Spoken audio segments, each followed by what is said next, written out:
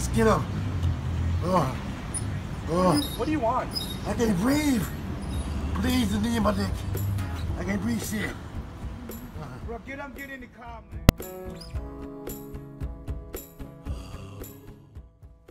George Floyd, morto a Minneapolis il 25 maggio 2020. La scena viene ripresa da un passante con il suo cellulare. Un poliziotto bianco che preme il ginocchio sul collo di Floyd per 8-9 minuti, mentre egli dice ripetutamente: Non riesco a respirare, per favore, non riesco a respirare. Poco dopo l'uomo, sdraiato ancora faccia in giù e con le braccia dietro la schiena in manette, perde coscienza, mentre il poliziotto continua a premere il ginocchio sul suo collo. La sua morte viene registrata al Hennepin Country Medical Center.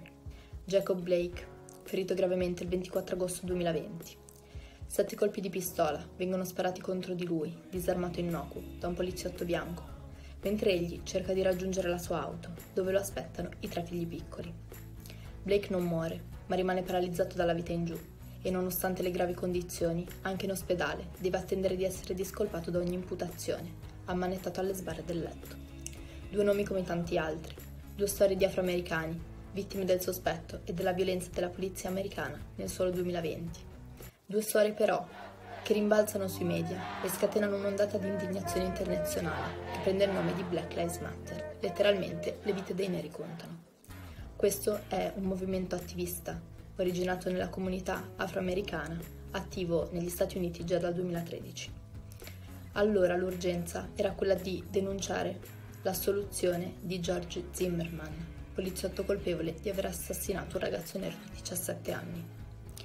Nonostante le lotte contro il razzismo degli anni 60 e 70, nonostante il doppio mandato di un presidente americano di colore, questioni come profilazione razziale, brutalità della polizia e disuguaglianza nel sistema giuridico degli Stati Uniti permangono e la storia puntualmente continua a ripetersi. E tutto questo ci appare molto lontano da noi. Poi però apriamo il giornale del 5 settembre 2020, un Corriere della Sera o una Repubblica qualsiasi e troviamo una notizia che ci farà brividire a Colleferro, in provincia di Roma, è stato ucciso Willy Montero Duarte, 21enne di origini capoverdiane. Colpevole di essere intervenuti in difesa di un amico per sedare gli animi durante una rissa fuori dal locale, preso a pugni da un gruppo di quattro ragazzi fino alla morte. L'avvenimento non viene in realtà classificato dai media come razzismo. Forse nella considerazione generale collettiva dei giorni nostri non si può escludere che le dinamiche del branco siano scattate contro una persona casualmente di colore. Poi però guardiamo i dati del libro bianco dell'Associazione Lunaria e scopriamo che da tempo l'Italia si dimostra tutt'altro che accogliente. In 18 anni sono stati registrati 7.426 episodi di ordinario razzismo. E allora non importa più se la morte di Willy sia stata o meno causata da odio razziale, perché la vera questione è che conta ancora nel 2020 di che colore hai la pelle e da dove vieni, purtroppo.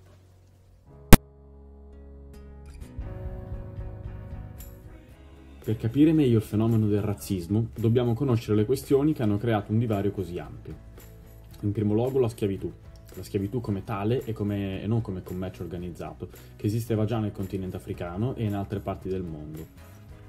Gli schiavi erano innanzitutto prigionieri, catturati durante le guerre tra gli stessi africani. Questi venivano rimossi dalle loro società di origine e venivano usati per lavoro agricolo e, scambiati come dei beni e difficilmente potevano sfuggire al marchio della schiavitù. Nonostante ciò, nei grandi regni d'Africa occidentale, col tempo, i discendenti di schiavi e gli schiavi stessi potevano diventare membri a tutti gli effetti.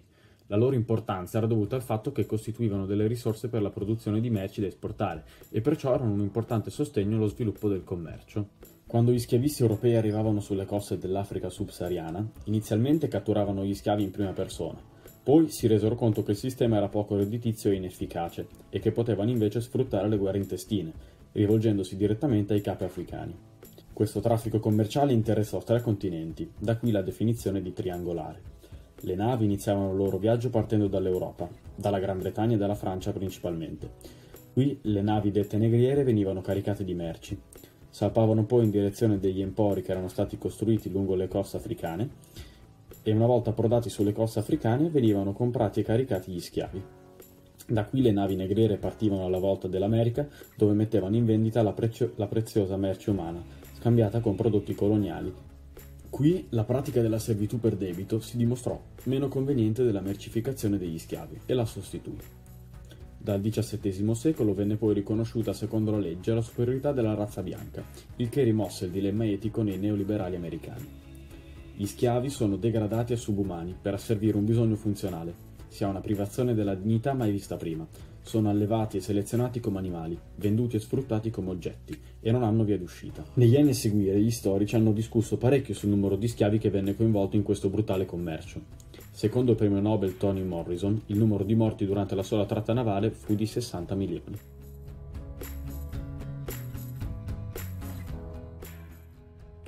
Per riuscire a comprendere appieno il libro e le tematiche che affronta è importante tenere a mente alcune informazioni sulla vita dell'autrice. Non dimenticare chi sei è il romanzo di debutto di Yaji Asi, 31enne nata a Mapong in Ghana ed immigrata a soli due anni in Ohio con la sua famiglia. In una delle prime interviste che ha rilasciato, ha rivelato come l'evento che l'ha spinta ad iniziare a scrivere il romanzo sia stato un tour del castello di Cape Coast sulla costa del Ghana, che è tra l'altro una delle ambientazioni principali del libro.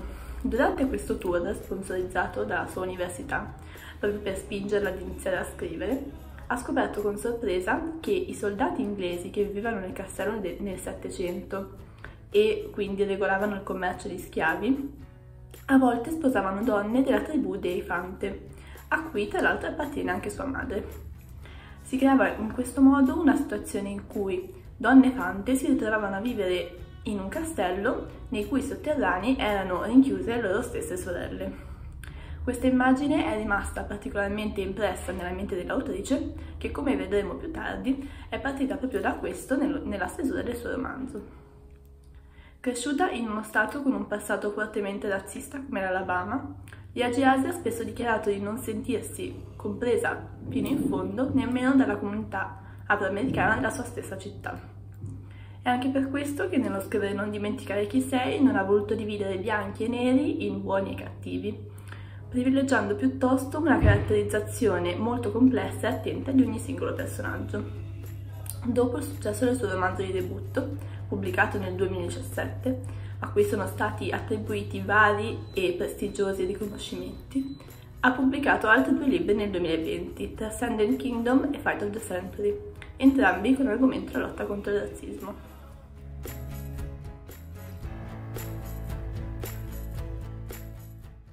Non dimenticare chi sei ha riscosso un grande successo, sicuramente per l'importanza dei temi trattati e come abbiamo visto per la sua attualità, ma anche per la struttura del libro, per il modo in cui è stato scritto, per il modo in cui sono state organizzate le sue parti, i suoi capitoli. Esso è diviso infatti in 14 capitoli semi-autonomi che procedono in parallelo. Questo cosa significa? Eh, significa che eh, intanto ogni capitolo, se preso singolarmente, potrebbe già da sé costituire una piccola storia. Infatti ogni capitolo parla della storia della vita di ognuno dei protagonisti del romanzo, ma resta comunque interconnesso a tutti gli altri da una sorta di collante che è costituito proprio dalla linea generazionale comune, da questo grande albero genealogico che ingloba tutti i protagonisti del romanzo. Infatti tutti appartengono alla stessa famiglia, eh, che ha come capostipite Mame, che dà alla luce Effi ed Esi, a loro volta le capostipiti del ramo americano e del ramo africano della famiglia. La nostra storia inizia nel 1700, proprio all'epoca delle prime colonizzazioni inglesi sulle coste eh, africane, in particolare sulle coste ghanesi, e si chiude eh, negli anni 2000 eh, in America. Diciamo quindi che oltre ad avere una struttura in parallelo, come ho detto prima, il, il testo eh, procede analizzando entrambi i rami eh, della famiglia e spiegando e narrando eh, le vicende, le violenze, gli amori che i protagonisti eh, vivono ha comunque una ring composition, una composizione ad anello, proprio perché la storia si separa nel 1700 e si ricongiunge nel, negli anni 2000. Sicuramente, eh, come ho detto prima, la struttura del, del romanzo ha reso il romanzo incredibilmente interessante da leggere proprio perché essendo eh, il romanzo strutturato in parallelo, lungo due linee eh, spazio-temporali, se così le vogliamo chiamare, separate, possiamo delineare sette contenuti in 14 capitoli, quindi due capitoli per ogni contenuto. Nei primi due c'è la perdita della libertà con eh, la separazione delle sorelle e la separazione del ramo africano da quello americano. Nei capitoli 3 e 4 si parla dell'amore, quello vero, non l'amore dei matrimoni combinati frequenti nel libro. Infatti Quay si innamora dell'amico ma fallisce, mentre l'amore tra Ness e Sam porta al concepimento di Kojo, anche se termina con la brutale morte di Sam che viene impiccato. Nei capitoli 5 e 6 invece eh, si tratta della libera scelta sul proprio destino. James infatti sceglie di fingere la propria morte per tornare dalla sua amata e Kojo invece decide di restare in America e non scappare dalle nuove leggi razziali e perde tutto, perde la famiglia. E questo quindi port- potrebbe portare anche a riflessioni sulle conseguenze che la libera scelta di un individuo porta sul proprio destino. I capitoli 7 e 8 invece riguardano la follia della comunità e delle leggi in generale. Abena viene infatti allontanata perché è ritenuta responsabile per i raccolti scarsi in Africa, mentre H è costretto ai lavori forzati per un crimine mai compiuto e quindi un po' la follia delle leggi emerge.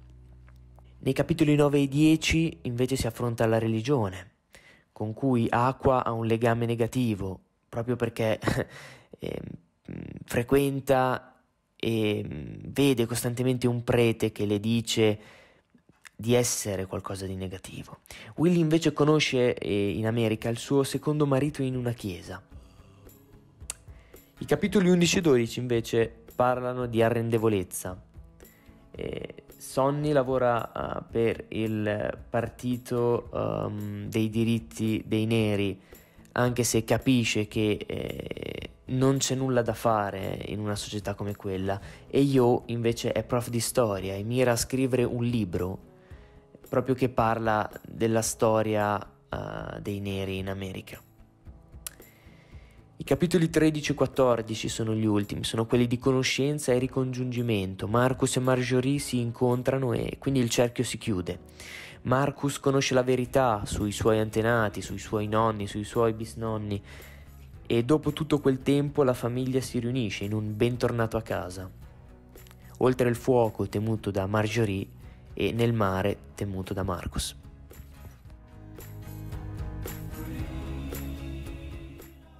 Tornando invece ai temi, eh, ce ne sono cinque di cui è fondamentale trattare eh, riguardo a questo romanzo. Il primo è quello della famiglia, intesa come una speranza di vita e un futuro migliori che sono rappresentati e, e garantiti dai figli. Infatti è proprio la discendenza il legame ehm, strutturale principale. Il secondo è il tema dell'eredità, che è un'eredità di tipo culturale e coincide con l'identità culturale degli stessi protagonisti del ramo africano che infatti, eh, ed è molto interessante notarlo, conservano il ciondolo di pietra che Mame dà alle due figlie. E appunto proprio quel ciondolo di pietra nera rappresenta la memoria della violenza, la memoria della discriminazione, il ricordo delle sofferenze.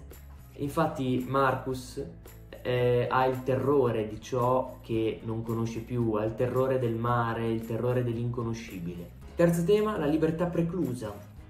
Se non più da violenze, come accade praticamente in quasi tutti i capitoli nel libro, da pregiudizi, stereotipi e discriminazioni, eh, soprattutto nella parte finale, nella parte più moderna, diciamo. E discriminazioni che sono chiaramente radicate nella società. Quarto tema invece è quello delle, delle cicatrici, eh, che sono um, simbolo di violenza e, ehm, e oggetto di discriminazione, ma anche di memoria. E poi chiaramente eh, l'ultimo tema è quello della disuguaglianza di genere.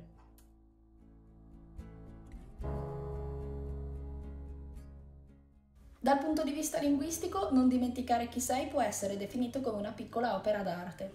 Lo stile è infatti chiaro e scorrevole, non si perde mai il filo del discorso e può indurre a leggere i capitoli tutti d'un fiato.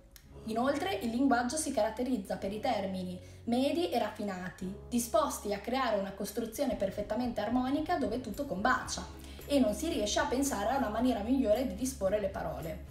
Ad esempio, nel secondo capitolo troviamo L'inferno era il luogo del ricordo. Ogni bel momento veniva filtrato dall'occhio della mente finché non rovinava a terra come un mango marcito, perfettamente inutile, inutilmente perfetto. La frase inizia con una verità dolorosa e universale, esprimendola con la verità, semplicità del verbo essere, unito a parole come luogo e ricordo, parole comuni che però riescono a trasformare il soggetto inferno in una condizione intrinseca dell'essere umano, concreta e abitabile come un luogo, interiore e identitaria come ricordo. L'universalità del concetto viene poi riportata all'ambiente ghanese in cui la storia si situa grazie alla similitudine del mango, frutto africano capace di trasmettere al lettore i colori e i profumi di un cronotopo in cui la natura non è ancora minacciata dalla modernità. Questo mango però è marcito, porta eh, su di sé il marchio della caduta e della sofferenza. Il chiasmo, perfettamente inutile, inutilmente perfetto, chiude la massima contrapponendo il passato in cui la protagonista era ancora la figlia del miglior guerriero del villaggio e come tale destinata in sposa al giovane più forte e più abile, ehm, con l'inutilità del ricordo che non può né scaldarla né ehm, darle gioia, mm, in quanto eh, ora la protagonista si trova nel fetore e nel buio del sotterraneo degli schiavisti inglesi. Da eh, questo pur breve esempio eh, si può notare come gli elementi chiave dello stile degli Agiasi siano la chiarezza, la cura e un'estrema libertà, in quanto l'autrice mostra di non risentire l'influenza della tradizione allo stesso modo degli scrittori europei.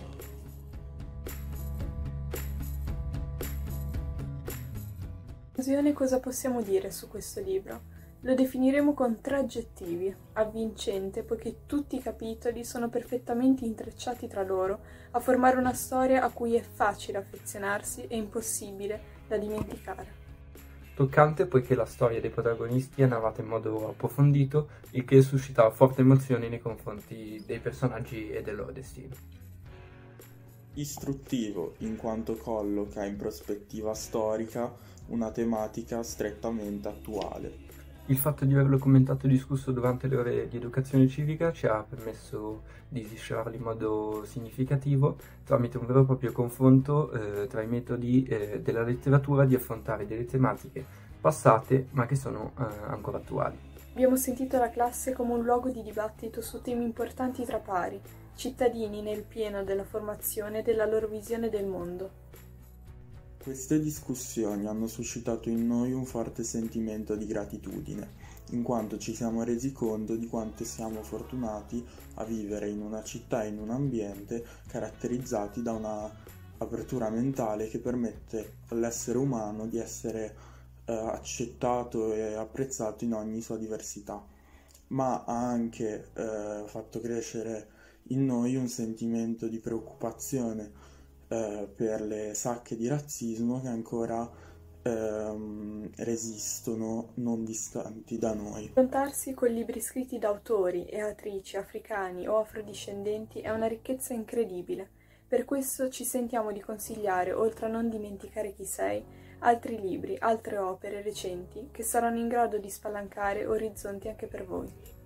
Iwand Omotoso eh, scrive La signora della porta accanto, eh, libro nel quale racconta la storia di due signore anziane di 80 anni, Marian dalla pelle bianca e Hortensia che invece è nera, e vivono in un quartiere residenziale di Città del Capo e superata una prima fase di odio reciproco eh, finiscono per sostenersi a vicenda. Questo a riprova del fatto che nonostante il fenomeno dell'apartheid sia ormai lontano, gli stereotipi fanno fatica a morire. La libertà possibile di Margaret Wilkerson Sexton eh, si dipana la, eh, per tre generazioni la storia eh, di una famiglia creola benestante a New Orleans, attraverso la narrazione di tre madri che diventano nonne dagli anni 40 ai giorni nostri.